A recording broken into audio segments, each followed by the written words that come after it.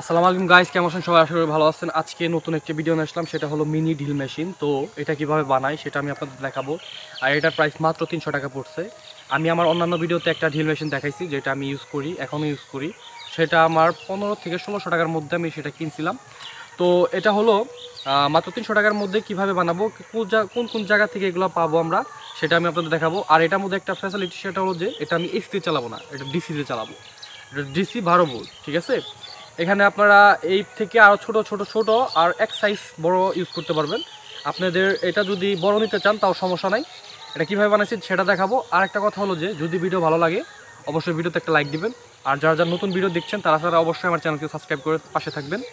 তো চলেন শুরু করা যাক ভিডিও তো শুরু হয়ে গেল আমাদের ভিডিও এটা হলো একটা পিভিসি পাইপ এটা আপনারা মার্কেটে অ্যাভেলেবেল পেয়ে যাবেন। তো এই মোটরটা হলো সেভেন সেভেন ফাইভ তো এই মোটরটা আমি আজকে পাইছি একটা দোকানে, তো সেখানে নিয়ে আসলাম। বললাম যে একটা ড্রিল মেশিন বানাই। তো এটার প্রাইস নিচ্ছে আমার কাছে দুশো টাকা, ঠিক আছে? তো দুশো টাকা এটা প্রাইস নিচ্ছে আমার কাছ থেকে। আর এই পিভিসি পাইপটার প্রাইস নিচ্ছে পাঁচ টাকা। তো এখান থেকে আমরা ফাইভ সেন্টিমিটার আমার হাতের মানে ফাইভ ইঞ্চি হাতের ফুল মানে হাতে যে পিঠা বানাবো সেটার জন্য। আর এই মোটরটা আপনার একটা জিনিস খেয়াল করে এই পাইপটা কিনবেন যে, যেন আপনার যে মোটরটা আপনি কিনছেন, যেটা দিয়ে আপনি ড্রিল মেশিন বানাবেন, সেটা যেন এটার ভিতরে খুব সুন্দরভাবে ইজিলি ফিট হয়। তো ফিট হওয়ার পর আমরা মাঝখান দিয়ে একটু একটু করে কেটে নিব। কেটে নিয়ে কিছুটা গ্রিপ সিস্টেম করব এরকমভাবে। কেটে নেওয়ার পর গ্রিপ করার তার কারণ হলো যে, এই মোটরটা যে আমি লাগাবো, লাগানোর পর এটা তো আসলে স্টেবল থাকবে না। স্টেবলের জন্য আমাদের এটাকে একটু আটকানোর প্রয়োজন, তো সেক্ষেত্রে আমরা কি করব? এরকম করে দুই সাইডের যে একটু গ্রিপ করলাম, সেই গ্রিপটা একটু করে বাঁকিয়ে নিব যাতে এইটার মধ্যে আমি লাট অ্যাড করতে পারি। তো আমাদের কাজ ওভারঅল কমপ্লিট এখানকার পাইপের তো দেখা যাক আপনাদের দেখাই ভালো করে।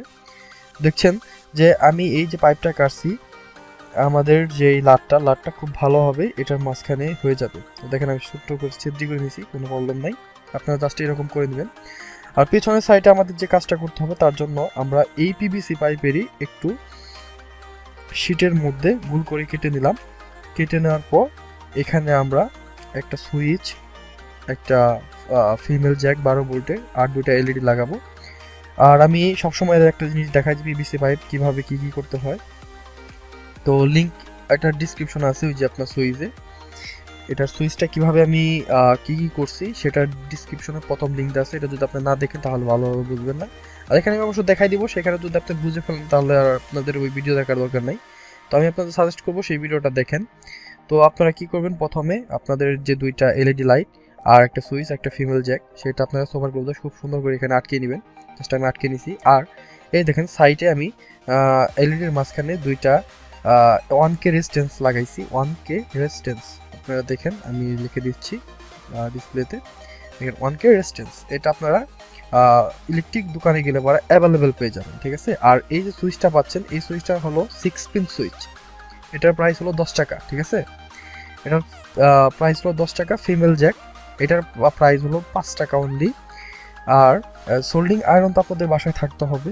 মাস্ট বি কারণ এগুলো আমি আপনাদের বলছি একটা সোল্ডিং আয়রন আপনাদের বাসায় যদি থাকে, সেক্ষেত্রে আপনারা ইউনি- অনেক অনেক প্রকার প্রজেক্ট তৈরি করতে পারবেন। একটা সোল্ডিং আয়রন কিনে নেবেন আপনারা। অনলি পঞ্চাশ থেকে ষাট টাকার মধ্যে পাওয়া যায়। তো আপনাদের এলইডি আমি এখানকার সেট আপটা আমি আপনাদের বোঝাই দিই, দেখেন। এলইডির এক এক সাইডে একটা করে ওয়ান কে রেজিস্ট্যান্স লাগাবেন। আর সুইচটার যে আমি লিখেছি এটা হলো আউটপুট এটা হলো ইনপুট মানে দুই সাইডে তো সিক্স পিনের আগে আমি প্রথমে আমি আপনাদের এলইডিটা সেট আপ করে দেখাই। দুইটা এলইডি রেজিস্ট্যান্স দুই সাইডে একটা সুইচের দুই সাইডে লাগাবে, আমি আপনাদের দেখাই। জাস্ট এরকমভাবে আর তারপরে সিক্স পিন সুইচের যে কথা বলছিলাম, মাঝখানে দুইটা পিন রয়ে গেছিল। তো সেই পিনের মাঝখান থেকে আমি ইনপুট দিয়ে দেবো। সেই দুইটা মাঝখানের সুইচে ইনপুট দিয়ে দেবো। তো দেখেন, আমি একটু সোল্ডিং করে নিই, তারপরে আমি আপনাদের এক্সপ্লেন করতেছি কীভাবে কি করতে হবে, ঠিক আছে?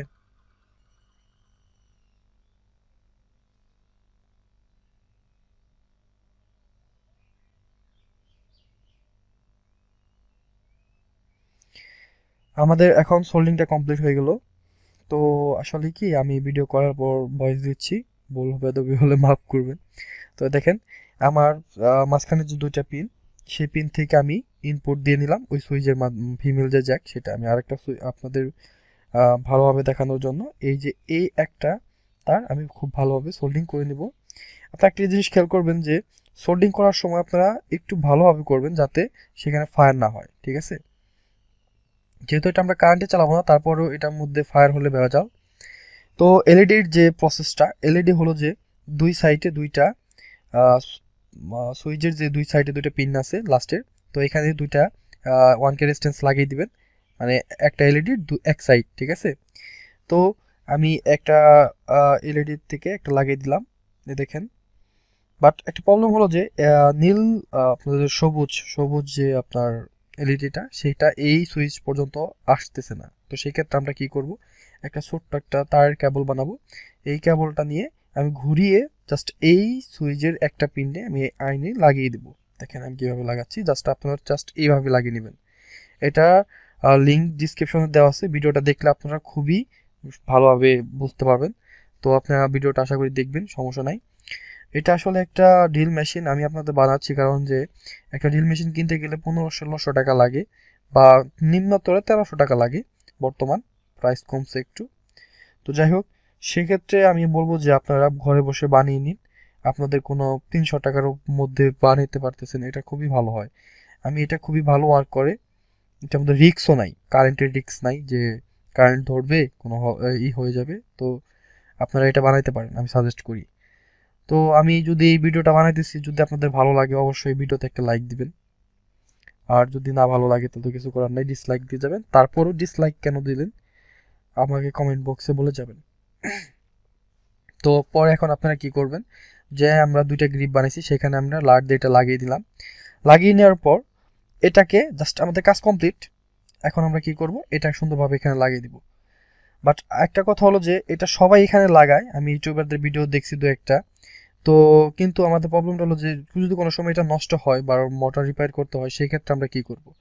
তাহলে তো আমাদের খুলতে হবে, ভাঙতে হবে, নানান কাহিনী। তো যার কারণে আমি একটা পিভিসি পাইপের ছিটকে একটু বাঁকিয়ে সেখানে তিনটা ছিদ্র করে তিনটা লাট লাগিয়ে দিছি। প্রথমে সোয়ারগুলো, তারপরে সাইড দিয়ে সেটাকে একটু শক্ত করার জন্য বালু দিয়ে দিছি। তো এখন এই পাইপটাকে, এই মানে এই শীটটাকে আমি এই পাইপের ভিতরে ফিট করব। কীভাবে আপনি আপনাদের দেখাই। জাস্ট এখানে এটার ভিতরে রেখে দিবেন, লাট সাইজ যে আনবেন, পরে লাটটা লাগিয়ে দিবেন। Just complete. এটা আপনাদের জন্য হেল্প, কারণ কি আপনারা পার্ট বাই পার্ট খুলে ফেলতে পারতেছেন। আপনারা যে কোনো সময় এটা ওয়ারিং করতে পারতেছেন, নতুন করে রিপেয়ার করতে পারতেছেন। এটা আপনাদের মানে সুবিধা হয়। দেখেন, আমি দুই সাইডে দুইটা লাট খুবই ইজিলি লাগিয়ে দিছি। লাগিয়ে দেওয়ার পর, তো এখন আমরা কি করব? আমাদের কাজ পুরোপুরি কমপ্লিট এখন আমরা যে, এই যে মাথাটা এটার প্রাইস কত? এটার প্রাইস হলো সত্তর টাকা। আপনারা হার্ডওয়্যারের দোকানে যাবেন। যা, আমি যা আপনাদের যা যা দেখাইছি, সবই এখানে পেয়ে যাবেন। তারপরে আমি আপনাদের যেটা দেখাবো, এটা হলো আপনাদের শার্প কানেক্টর সেটা কীভাবে বানাবেন? এটা বানানোর জন্য পাঁচ টাকা দিয়ে একটা একটা লাট কিনবেন। লাট কিনার পর আপনার ইয়ে যাবেন। লেদ মেশিনে। লেদ মেশিনে যাওয়ার পর বিশ টাকা দিয়ে এটা সিদ্ধ করে নেবেন আপনার মোটার অনুযায়ী। মোটরটাও নিয়ে যাবেন সাথে, ঠিক আছে? তো তারপর আপনারা কি করবেন? সেখানে আপনারা একটা দুই ফুটা সোবার গ্লু দিয়ে সুন্দর করে আটকে দিয়ে কিছুক্ষণ রেখে দেবেন। জাস্ট আপনাদের কাজ কমপ্লিট। আর আপনাদের কিচ্ছু করতে হবে না। আপনাদের কাজ কমপ্লিট। এখন আপনারা যেটা করবেন, সেটা হলো যে এখানে বারো ভোল্ট টিসি সেটা পিছন দিয়ে দিয়ে দিবেন। সামনে থেকে কাজ করবে, ঠিক আছে? তো এখন আমরা লাগাবো আমাদের যে ফল, বিট যেটাকে বলে ডিলেট বিট, ফল, সেটা আমি লাগিয়ে এখন ওয়ার্ক করে দেখাবো। তো চলেন, দেখা যাক কি হয়। যদি ভিডিও ভালো লাগে, অবশ্যই লাইক করবেন, আমি আশা করি। আর ভিডিও ভালো লাগলে অবশ্যই কমেন্ট করবেন। ঠিক আছে? ভিডিওটা বানাইতে আমাকে একটু কষ্ট হয়েছে। তো যাই হোক, এই পর্যন্ত আজকের জন্য। Enjoy the video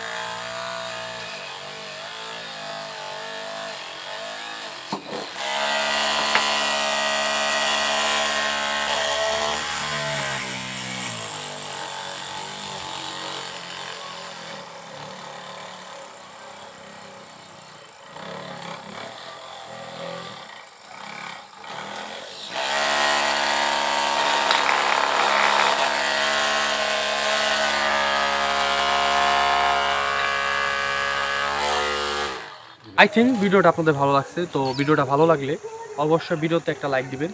আর যারা যারা নতুন দেখছেন, অবশ্যই সাবস্ক্রাইব করবেন। তো আমার ভিডিও দেখার জন্য আপনাদের সবাইকে ধন্যবাদ। টাটা, ভাই বাই বাই ভালো থাকবেন।